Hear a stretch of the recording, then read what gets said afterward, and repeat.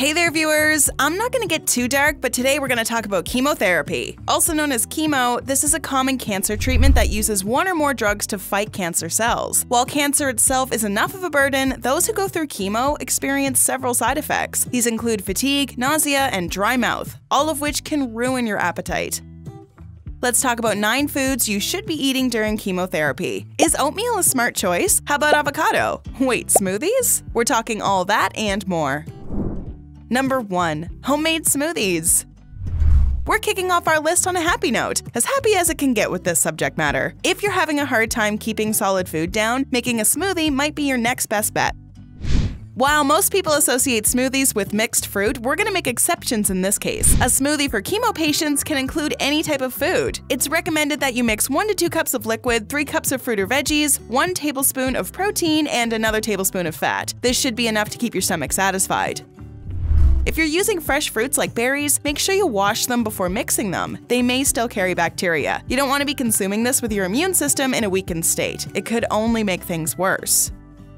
What's your go to smoothie? Do you mix fruits with veggies or do you drink them individually? Sound off in the comment section and start a conversation with our bestie community. Number 2. Pumpkin Seeds. This snack has a lot going for it in the way of nutrients. Pumpkin seeds have protein, antioxidants, and vitamin E. Vitamin E is particularly important for patients during this time, as it supports your immune system and lowers inflammation. On top of that, it will also prevent heart disease and promote the health of your eyes. Pumpkin seeds also carry a ton of iron, but just be careful. You don't want to experience an iron overload. This is when there's way too much iron in your body for your system to handle. The iron goes into your heart, liver, and glands. So if your doctor notices too much iron in your body, stay off the pumpkin seeds. Number 3. Fish. This is a really important food to eat if you're going through chemo. You're getting so many nutrients you don't even realize.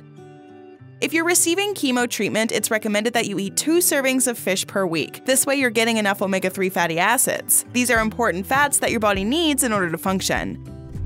Omega 3s will boost your brain health and fight against inflammation in the body. They will help most cancer patients avoid unhealthy weight loss during their treatment. Fish like mackerel, salmon, sardines, and tuna are really high in omega 3s, so I recommend you try those. Number 4. Bread and crackers.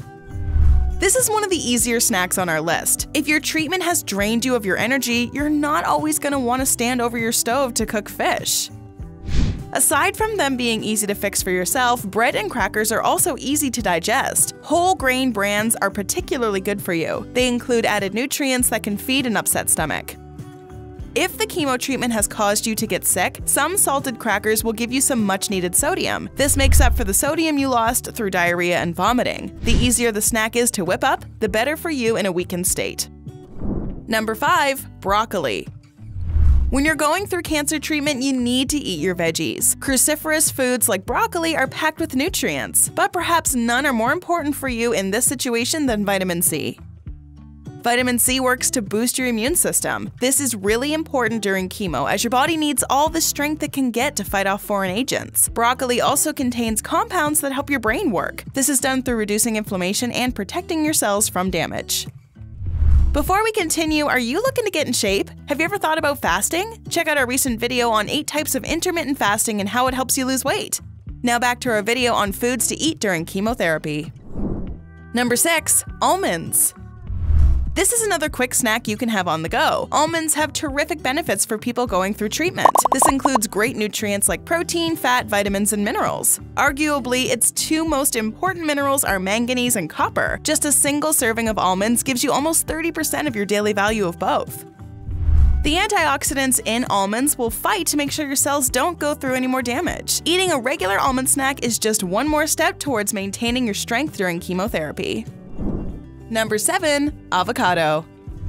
Not only is this fruit great for you during chemo treatment, it's also delicious. Everyone needs a little more avocado in their life. There's no shortage of great nutrients in avocado. For one, you get monounsaturated fat. This will help your cholesterol stay at a healthy level. A serving of avocado will fight against your LDL. This is the fancy name for your bad cholesterol. It also carries a huge amount of fiber. A 3 ounce serving has 27% of your daily value. This does a number of positive things for your health. Since your stomach will be emptier during this time, avocado will make you feel full for a longer period. On top of that, the fruit will assist your digestion. A regular diet of avocado helps you go to the bathroom at a healthier rate. Now, there are a number of ways to eat avocado. You don't just need to cut it up and eat it raw. Remember the bread you were eating? Why don't you spread it over that? But much like other fruits, you need to make sure you wash avocados before you slice them up. Unpeeled avocados carry bacteria known as listeria. This can poison you. Number 8. Oatmeal. Yes, oatmeal can be very healthy for you, but it also serves as a comfort food, something that will satisfy you during this hard time. We all know the feeling that comes after tasting a warm bowl of oatmeal in the morning.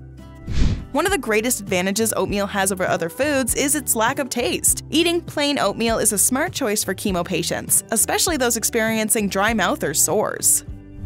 Oatmeal has so many contents that will fill you up. For one, you're going to get protein. Similar to fiber, protein will help you maintain an appetite and boost your digestive system. Oatmeal also contains its own type of fiber that will regulate your gut's bacteria. There are several types of oatmeal to choose from. A person doing chemo rounds might want to go for overnight oats. This is when you soak oats in milk and put them in your fridge overnight. In the morning, you top them with berries, nuts, and honey. It's recommended you eat it within two hours of your chemo appointment. This way, you can avoid getting sick. If you are getting sick or feeling nauseous, eat it with a little bit of salt. This is said to make you feel better during this time. Number 9. Eggs. This next choice is pretty hit and miss. Some people like them while others don't, but eggs are just so good for you, and they can really fill your stomach up. This is a plus for anyone in treatment. One of the most common symptoms of chemotherapy is fatigue. You can feel exhausted just by standing up. Eggs fight off feeling of fatigue through their protein and fats. One medium sized egg holds about 6 grams of protein and 4 grams of fat. Fat gives your body energy to function throughout the day. As for protein, it allows you to maintain muscle mass. During chemo, your muscles can really suffer. There are so many different ways you can cook eggs. You can do them hard boiled, soft boiled, poached, or scrambled. The possibilities are endless. You just have to make sure they're cooked properly. This way, you have less of a chance of getting food poisoning. I really need to emphasize this for people doing chemo. Your body's already feeling weak. One of the last things you need is an unnecessary sickness. Yes, cancer and other forms of disease are hard to talk about, but it's necessary when it comes to your health. Have I sparked your interest? Let's keep the conversation going with a couple more videos, shall we? Check out our video on 9 foods that are hurting your stomach. Or how about 9 foods that are hurting your unhealthy pancreas? Go ahead, click one, or better yet, watch both, and learn more about how to avoid illness. Have you or a family member ever gone through chemotherapy? Let us know in the comments below.